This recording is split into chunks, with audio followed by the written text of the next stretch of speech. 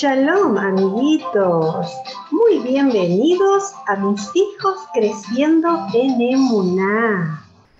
Hoy estamos juntos para aprender acerca de la parashat que se llama Bejaloteja y significa cuando hagas subir a esta parashat, amiguito, que es la número 36, la encontramos en el libro de Bamidbar, o números, desde el capítulo 8, versículo 1, hasta el capítulo 12, versículo 16.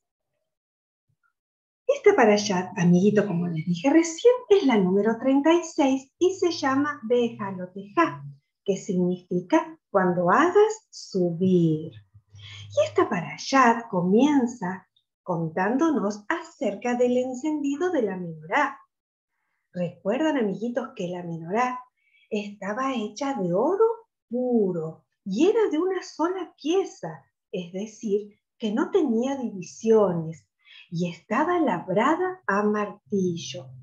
Y el Dios eterno le dice a Moisés que Aarón era el encargado de encender las lámparas era, recuerden que la menorá tenía siete lámparas y eh, Aarón debería encenderla todos los días.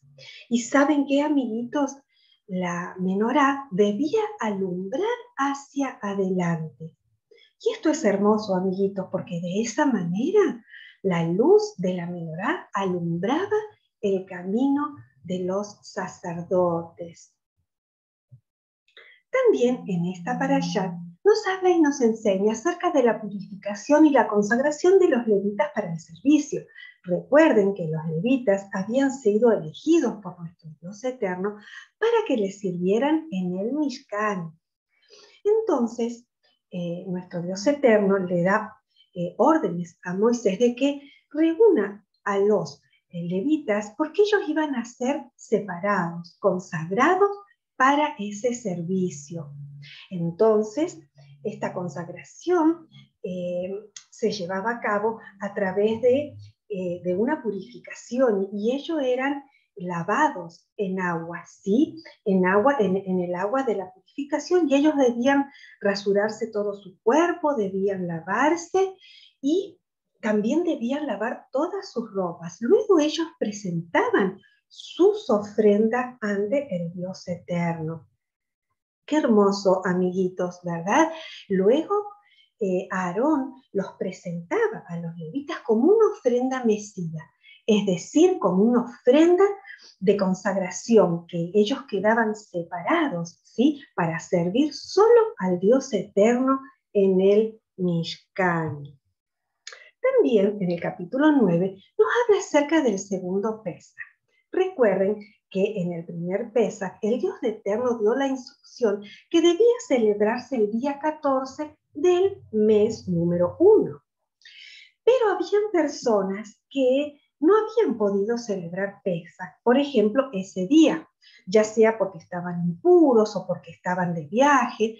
Entonces, el Dios Eterno da la instrucción que ellos podían celebrar, celebrar Pesach el día 14 del mes número 2, de la misma manera que era celebrado el primero, es decir, con panes sin levaduras y hierbas amargas. También nos habla acerca de la columna de nube como la señal de partida. Cuando el Mishkan, el tabernáculo, ya fue armado en medio del campamento, la presencia del Dios eterno descendió sobre él eh, en forma de nube. Y esa nube cubrió el, eh, todo el Mishkan, cubría el Mishkan. De noche era una nube de fuego. ¿Y saben qué, amiguitos? ¿Por qué era la señal de partida? Porque cuando la nube se levantaba, eso significaba que eh, el pueblo tenía que marchar, tenía que comenzar a caminar. Y cuando la nube volvía, si se detenía, ellos tenían también que acampar y de esa manera la nube se posaría nuevamente sobre el Mishkan. En el capítulo 10 nos hablan acerca de unas trompetas, amiguitos, y esto es muy hermoso, así que prestemos mucha, mucha atención. nos habla acerca de que eh, el Eterno le ordena ¿sí? a Moisés a que haga dos trompetas de plata labradas a martillo y los hijos de Aarón serían los encargados de hacer sonar esas trompetas. ¿Y saben qué? Al sonar las dos trompetas, eso significaría que el pueblo de Israel debía reunirse en la entrada de la tienda de reunión. Y el sonido era un sonido que sería tequía. Así se llamaba ese sonido. Pero cuando sonaba una sola trompeta, eran los príncipes de cada tribu los que se irían o los que se tenían que reunir ¿sí? en, él, en la tienda de reunión. Y ese sonido era un sonido también de tequía. Pero cuando el sonido era de alarma, un sonido tequía, terúa, tequía, el pueblo marchaba. Y también cuando sonaban las trompetas, era porque era tiempo de guerra y el Eterno estaba con ellos y los iba a proteger. También se hacían sonar en las fiestas, en los Rosh Hodesh, en los días de sacrificios y en los días de alegría. Qué hermoso, amiguito, cómo sonaban estas trompetas y el pueblo tenía que saber cuáles eran los sonidos para poder hacer cada cosa que esas trompetas anunciaban. Y saben qué, amiguitos, al, al ser el día 20 del segundo mes, del segundo año que Israel había salido de Egipto, la nube se levantó sobre el tabernáculo y los hijos de Israel partieron por primera vez del desierto Sinaí, conforme a la orden que el Eterno les había indicado. Y la nube iba delante de ellos, guiándolos. Y después de tres días de viaje, la nube se detuvo en el desierto de Param. Y miren esto, amiguitos, cada vez que Moisés veía partir el arca, él tenía que exclamar con voz muy, muy fuerte, levántate, Jehová, y sean dispersos tus enemigos, y huyan delante de ti los que te aborrecen. Cuando el arca reposaba, decía, oh Jehová, vuélvete a los millares de millares de Israel. Qué Qué bonito, ¿verdad, amiguitos? Y miren ahora, este fue el orden de la marcha de los hijos de Israel por sus ejércitos cuando partían. Recuerden que la para allá anterior dijimos que ellos no salían como querían, sino que había un orden. Cuando sonaba esa trompeta, ellos sabían que tenían que partir, tenían que marchar. Y fíjense que lo primero, lo que iba adelante, amiguitos, era el arca. Luego le seguían la tribu de Judá, la tribu de Isaacar y la tribu de Zabulón. Luego iba la familia de, de Gerson, ¿se acuerdan? Los gersonitas, ¿sí? Que ellos llevaban junto con los meraritas todo lo que tenía que ver con los tablones y con las telas y las cortinas del tabernáculo. Luego iba la tribu de Rubén, la tribu de Simeón y la tribu de Gad.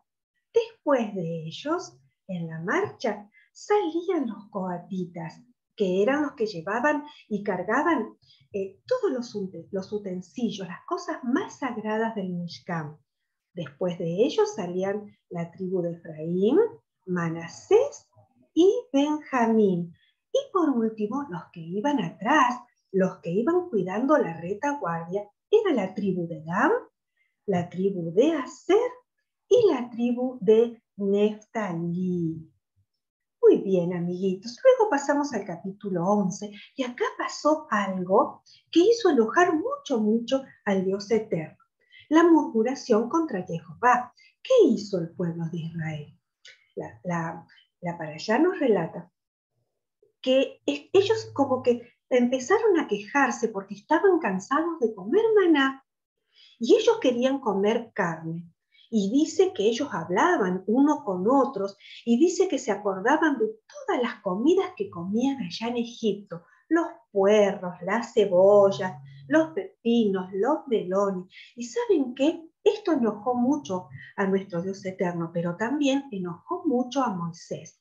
Entonces Moisés fue a hablar con nuestro Elohim y dice que, que, Moisés le dice que de dónde iba a sacar él tanta carne para darles, que él solo no podía con él llevar tanta carga, sí, con este pueblo que, que murmuraba.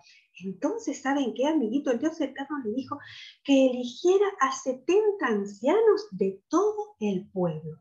Luego les dijo que el pueblo se purificaba porque el Dios eterno les iba a dar la carne. Entonces Moisés le pregunta a nuestro Elohim y le dice, ¿y de dónde vas a sacar tanta carne? Si aún contando todos, dice el rebaño que hay en el pueblo, no alcanzaría. ¿Y saben cuál fue la respuesta de nuestro Elohim? Le dice, ¿acaso se ha acortado la mano de Jehová? Dice, ustedes verán si mi palabra se cumple o no. Luego eh, les, dijo nuestro Dios a Moisés que reuniera a esos 70 ancianos que iban a ayudar a gobernar al pueblo. Y dice que cuando Moisés le habla a Dios, nuestro Dios eterno dice que tomó del Ruach, tomó del espíritu que había en él y dice que también se los impartió, los puso en las vidas de, estas, de estos 70 ancianos. Y cuando fueron llenos del Espíritu, llenos del Rúa, dice que ellos comenzaron a profetizar. Pero dos de ellos, que era Eldad y Medad, se habían quedado en el campamento. Y aún así ellos fueron llenos del Rúa y ellos también comenzaron a profetizar. Amiguitos, y así como Dios había prometido que les iba a hacer comer carnes, dice que Él hizo soplar un viento que venía del mar y hizo que todas, si todas las codornices llegaran al campamento. Y dice que eran tantas, pero tantas que el pueblo recogió todo ese día, toda la noche y todo el otro día. Y eran tantas, tantas codornices que dice que comieron, comieron y comieron tanto que se llenaron mucho. Pero ¿saben qué, amiguito? Dice que esto le desagró mucho al Dios eterno. Que ellos comieran así de esa manera, despreciando el maná que Él les había dado. Entonces dice que Él se enojó mucho y envió una peste muy grande, sí, aquel día sobre el pueblo de Israel. ¿Y saben cómo llamaron a aquel lugar? Kibrot Hataba, que significa, em, e, e, significaba el sepulcro del deseo, ¿sí? Porque habían muerto muchas, muchas personas.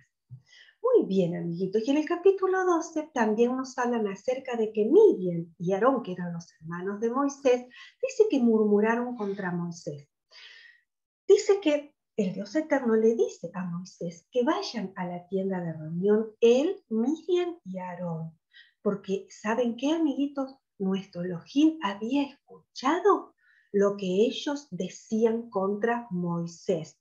Entonces, cuando estuvieron reunidos allí, él les dice que por qué habían murmurado, murmurado de esa forma. Entonces, ¿saben qué? ¿Qué habían dicho Miriam y Aarón? Ellos habían, habían, se habían criticado ¿sí? a, la, esposa de, Moisés, ¿sí?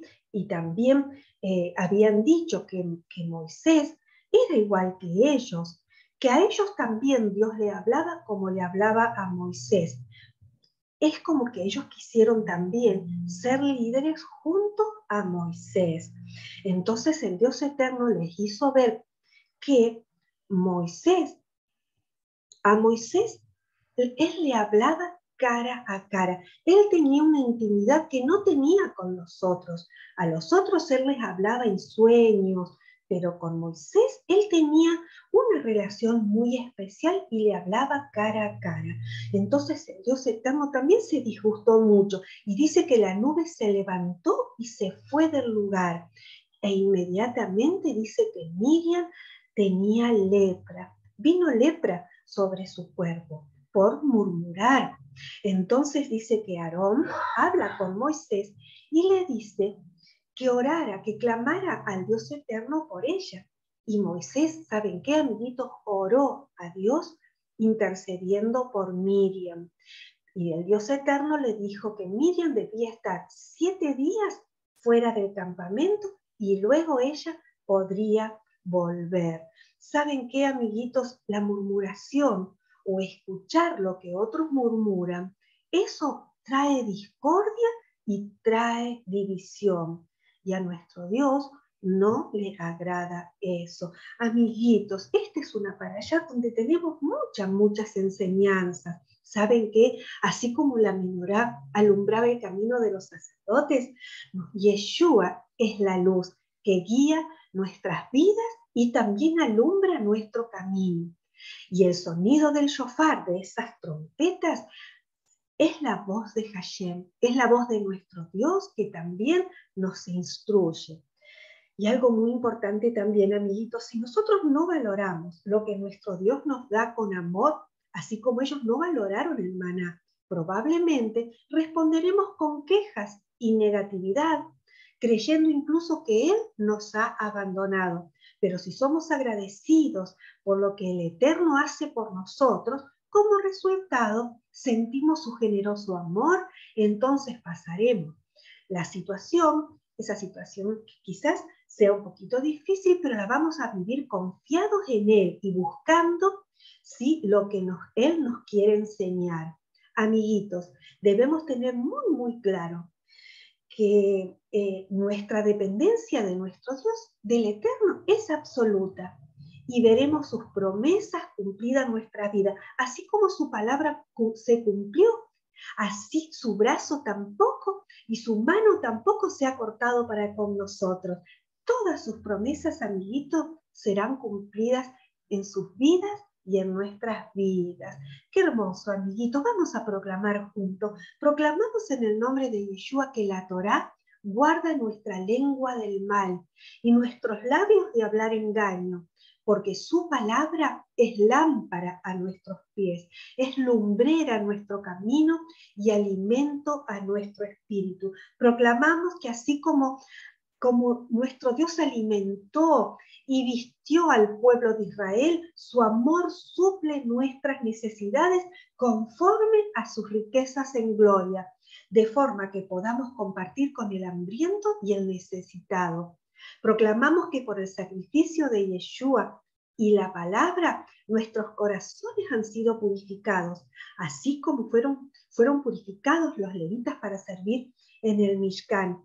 Y él continúa no han siendo purificados para así nosotros poder servirle en espíritu y en verdad.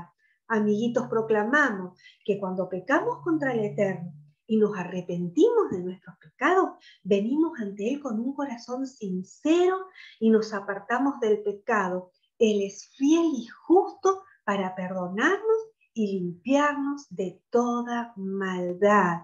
Yo lo proclamo, amiguitos, sobre sus vidas en el nombre de Yeshua.